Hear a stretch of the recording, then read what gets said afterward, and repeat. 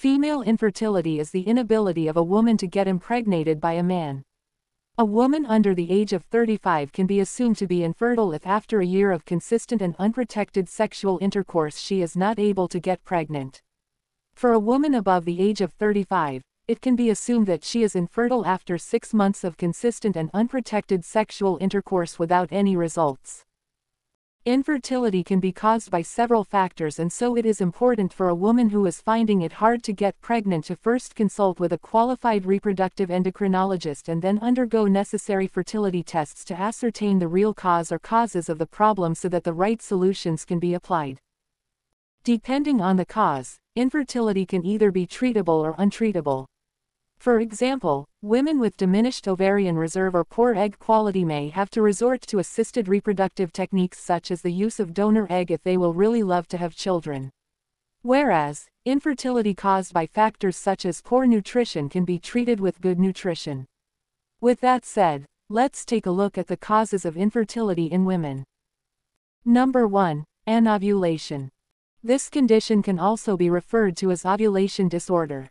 It is a situation whereby a woman does not ovulate during the menstrual cycle, and naturally, a woman who does not ovulate cannot get pregnant.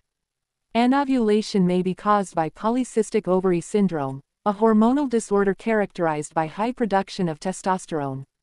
The condition can also be caused by a condition known as diminished ovarian reserve which has to do with decline in the egg count in the womb.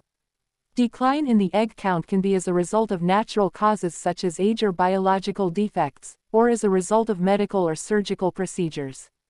Other factors that can cause anovulation include eating disorder, anorexia, and too much stress. Number 2. Tubal occlusion. Tubal occlusion is a condition in which the fallopian tubes are blocked.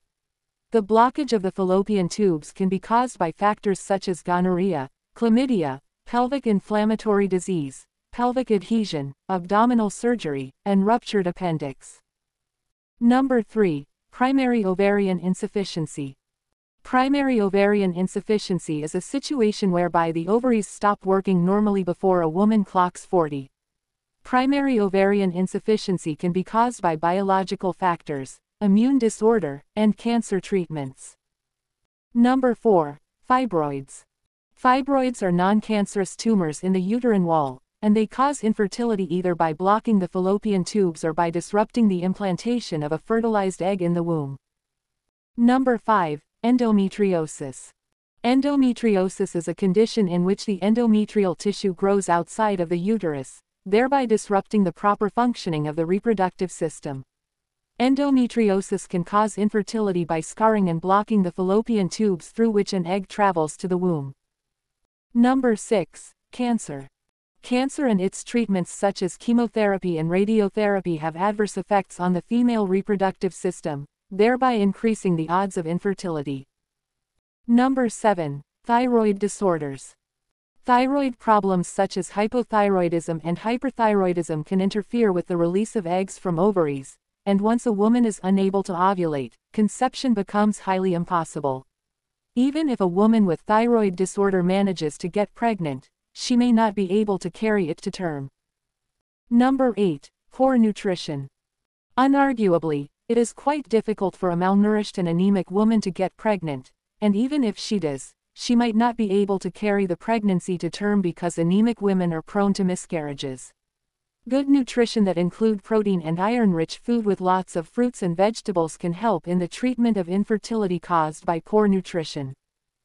Other factors that can cause or increase the odds of female infertility include age, excessive alcohol consumption, smoking, overweight, underweight, too much caffeine, excessive stress, and extreme exercises.